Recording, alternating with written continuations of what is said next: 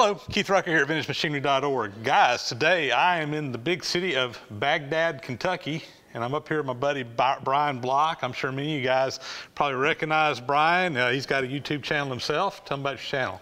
So, got a channel where I do a bunch of job shop repair type work and some high performance work as well. Uh, mostly all bigger stuff. I don't own a Bridgeport. Everything I've got is quite a bit bigger than that. So, uh, we're here today I'm going to use my 47,000 pound boring mill to punch a couple of holes out in this steam chest off the uh, Stoker engine. Yeah, yeah, Stoker engine. Yep, so this is a cylinder head actually, and uh, if you've been following my restoration on this uh, Stoker engine, you'll know that uh, when we took this thing apart, there was some pitting on the inside of the cylinders. And the goal here is we just want to basically bore it out, get it cleaned up, really the, the, the size is not super critical, although we'll probably shoot for some nominal size to keep them uh, close to one another. But according to the specs, I need to get them out. I know I got 3 sixteenths to a quarter of an inch that we can actually bore this thing out oversized and still be within the specifications without having to sleeve it. So, uh, and I think that we can get that pitting out without going over that size. We will have to make some oversized rings for it, but um, we'll know more once we get in here and start cutting some metal. So anyway, we are getting it set up on the mill right now, and uh, I'm going to change camera shots, and we'll kind of show you what we're doing, okay? All right, so we've got this set up on here, and we want to get a surface that we can reference off of for doing these bores. There's nothing machined externally on this, it doesn't look like. So they no doubt just set this up in one shot and put all the holes in it, and that was all they did with it. Wasn't any need to do anything else, so they didn't bother to do anything else. But we're coming back doing reclamation work, so we need some place to start from. So what we're doing is set up here to indicate these bores. So we'll have to come down and find the center of each one and find the lowest point and try to get that the same between this one and this one. And as soon as we get that done, we're to take a face mill and just put a couple of flats on the bottom of this. And that way when we set it up on the table, the bores will be aligned and it'll be easy to just cut them through there where they belong. So we got that indicator zero. We went side to side on it to find the lowest number there. And we're gonna raise it up now. Sweep over to the other bore and uh, do the same thing. We just wanna make sure we got it set up on these blocks square.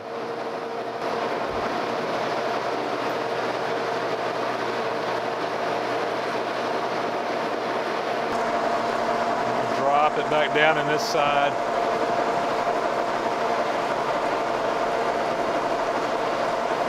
Yeah, it's not touching right yet. Yeah. And I can tell it's not centered either, so.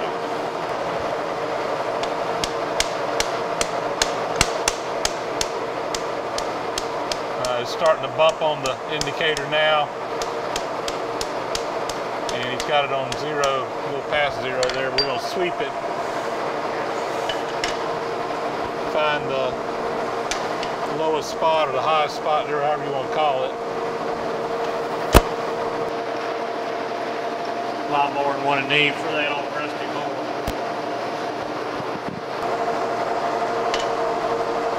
All right, come back the other way. I think we're good. It's good? I think we're good. Now let's tighten it up. Tighten it up, yep.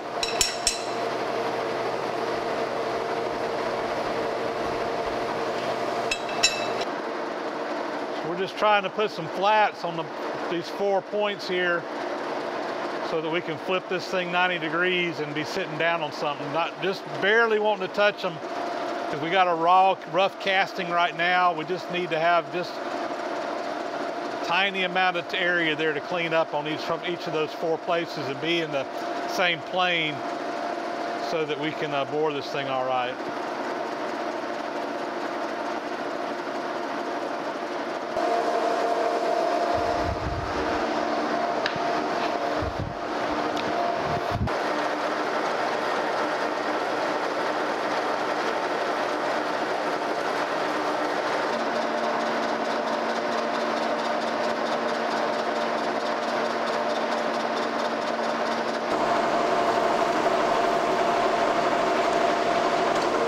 Yeah, so we just basically put some blocks back here behind it and ran it up against there. That's got it going square in this direction. It should be square in this direction, so we should be good. Yeah, and so we can check the vertical on it if I can get a place flat enough here to go across it. Try to drop in the board.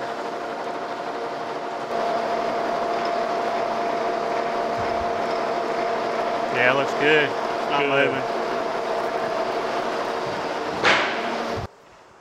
Well, what I'm doing right now is trying to locate the original bore center. And the only part of it that's any good is out here at the end where the piston hadn't worn.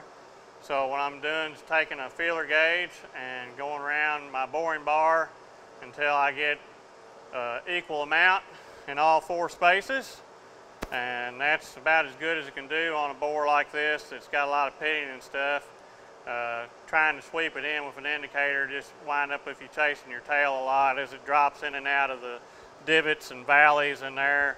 It'll move a couple thousandths and you'll just keep bouncing back and forth trying to find center. But a feeler gauge helps to average that out because you're over a larger surface. So when you get that fitting good, it should be real close. So that's what I'm doing is just moving this around until it feels right. You can tell a lot by feel.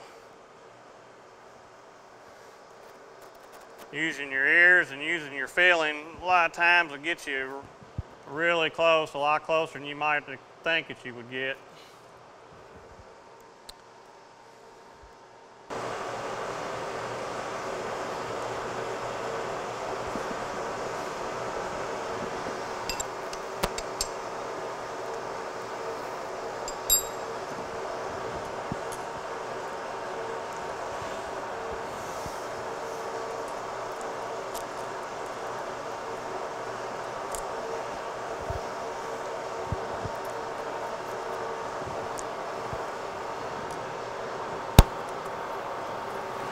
A little high and a little to the right. All right, so I've got this centered up on the bore using the feeler gauge method around the outside. And we're gonna take a 5 thousandths cut through here just to see how close to center and how it's uh, behaving, lining up and everything. So if we need to make any adjustments, we still can without anything being screwed up. So no need to get carried away and mess up this one off piece. So we'll just take it easy and take a light cut and see where we're at. So probably just gonna cut through about a half inch and stop just wherever gets to where the piston wear is. Might have to advance it some more. Hear it cutting.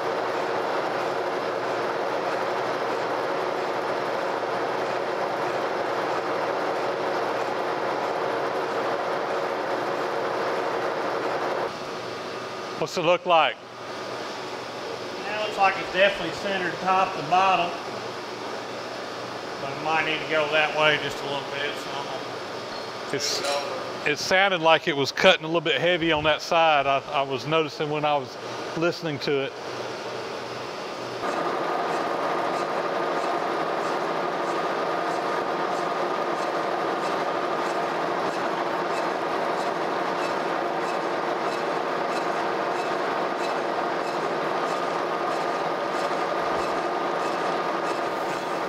I wonder how many miles this thing had on it. There's no telling. It's one of those million milers, probably. This this particular Stoker engine is, is not the one that was original on that locomotive. It came from a, another museum. I don't know what engine it came off of, or I don't know any of the history. So Yeah. there's there's no telling.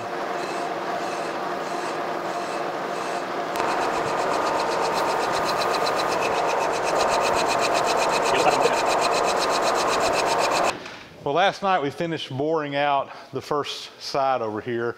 We're basically at seven and one sixteenth of an inch, so we took out a total of a sixteenth inch, which is one of the size increments in the book that they said you could order oversized rings for, which obviously we're not going to be able to order, and we're going to have to have them made. But this is a a, uh, a bore size that was uh, uh, in the book as being an appropriate size for this uh, this machine, so or this uh, engine. So I think we're good there. Uh, it cleaned up nicely, and um, we probably took out a little bit more than was really needed to get it cleaned up. We wanted to hit that, that nominal size because that was one of the sizes that they, uh, they had listed. So next thing is we're going to move over to the other cylinder. I need to double check my blueprints. I think it's 12 and 3 quarter inches. Um, in an ideal world, we should just be able to roll over there with the DRO and uh, be right on, on uh, center. Unfortunately, uh, the DRO is giving us some trouble this morning, digital readout. So uh, we're going to figure out, we may have to use an indicator to, to get over there in a couple of steps. Brian's over here working on the, see if we can get the DRO back up and going. But we'll get it over there. We'll double check everything with the feeler gauge just to make sure that we're uh, lined up where we need to be and uh, bore the other cylinder out. So we got lucky and got the digital readout to read and we dialed it over uh, 12 and 3 quarter inches, which is what the blueprint says. And it's within just a thou or two measuring with the feeler gauge of where it needs to be. We're just going to let it rip. Uh, we don't know how good they had to begin with when they did this job. Probably no more than within five thousandths of print. Exactly. So, I mean, you have, have some tolerances. So I think we're good here. And um, anyway, we're ready. We're going to start boring this side. Fire it up and cut away. Let's do it. How much of a cut are you taking? Uh, I dialed in 10, so it should be taking 20. Okay.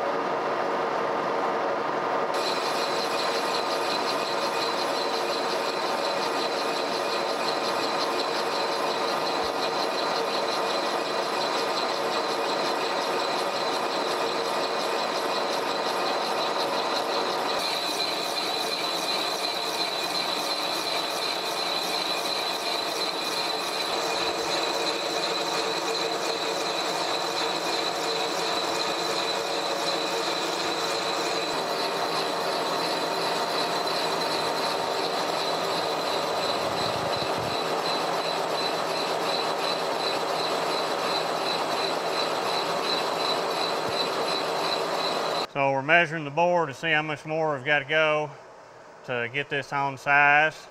This uh, dial bore gauge has been set to the correct size we're shooting for.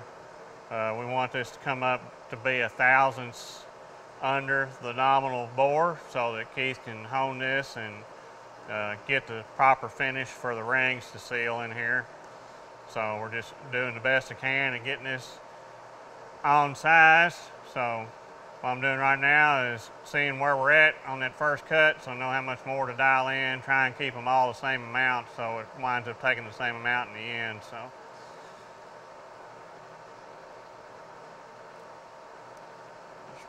On size, that's plus 10, 20, 21. So I'm gonna go another 10. We'll split this in two cuts. And then that way, if I need to adjust for the final, we can do that. Okay, we're making our second pass through here now. Taking what, another 10 total? Yeah, after this, it should be right at 10 to take out to hit the size that we want it to be. This should be our final pass going here.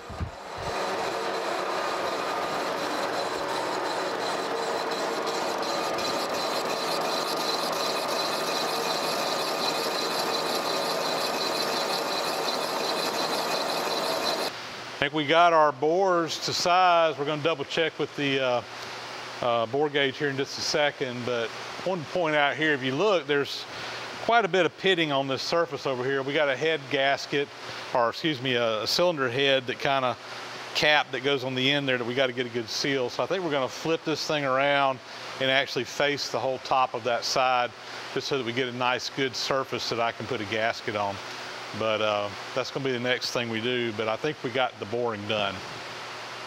Turn back around and square it up against the stop block so I'll be square to that face back there. And now we're to come in here and try and get some of this pitting out, particularly really just concerned about this half inch or so around this bore where it has to seal up. You can see this one here the seal was in better shape and it protected it.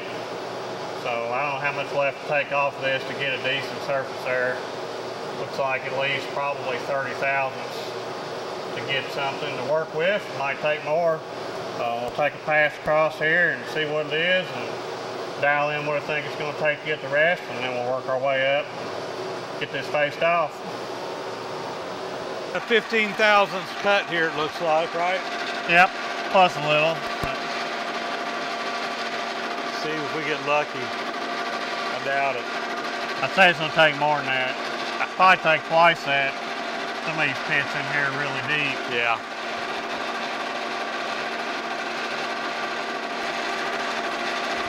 It's actually not looking too bad. I might get it.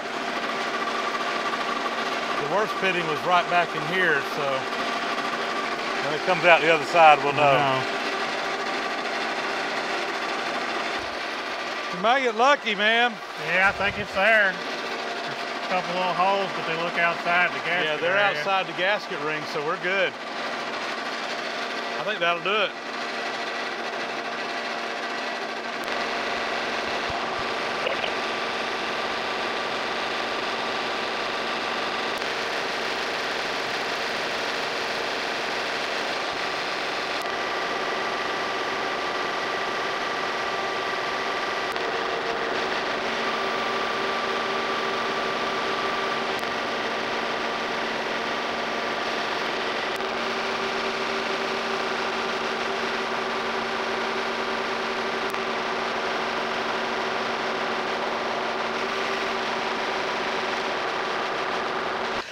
There we go, guys. I think that we have this job done. So both cylinders have been bored out, checked. They're both about a thousandth undersized. One of them was a thousandth, one of them was what, seven tenths? Seven tenths. Yeah, so, and I'm planning on putting a hone in here. We'll finish this the size with a hone, get it all smoothed up.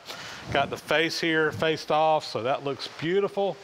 Um, I think we're in good shape to take this thing on back. I've got done what we came here to do. And uh, Brian, It's like a new part, like a new part. so Long- be good for another hundred years. Long way toward uh, getting this thing, uh, getting this was a major part of getting this job uh, where we can really start, really start working on getting this thing put back together. So um, I still got some more work to do to it, but got a lot done. Brian, thank you for your hospitality. Thank you You're for quite welcome. letting me come and do this, and uh, we appreciate you using the big, uh, big uh, bore mill, horizontal bore mill. That's why I got it for. Do jobs this size and bigger. This size and a lot bigger, Yeah. so uh, it was perfect for this. This actually looked a lot bigger on camera. I thought it was bigger before it got here. I was almost going to set up the tailstock to bore through it because I was like, that thing's probably two feet through there, but Yeah. it's not, not near that big. It looks, camera adds 100 pounds. There, there you go. There you go. All right. Well, we're gonna we're gonna load this thing up, and I'm gonna head back to Georgia, and uh, we'll see you guys down the road. As always, thanks for watching. And uh, if you haven't already, please subscribe to the channel, Brian's channel as well. What's your YouTube channel? BC Block 02, or if that's too hard to remember, you can just Google this old barn shop and it'll cover the whole Google page and uh, be bunches and bunches of videos there. There's over, I, there might be 400 videos on my channel now, so Good deal. there's a, a lot you can watch and it covers everything from machine work to farming to Building this barn. building this barn, building the bridge crane, and doing pretty much all of it by myself as a one-man show. So it makes it a little more challenging and a little slower going, but I get it done. There you go. That'll be it, guys. Thanks for watching.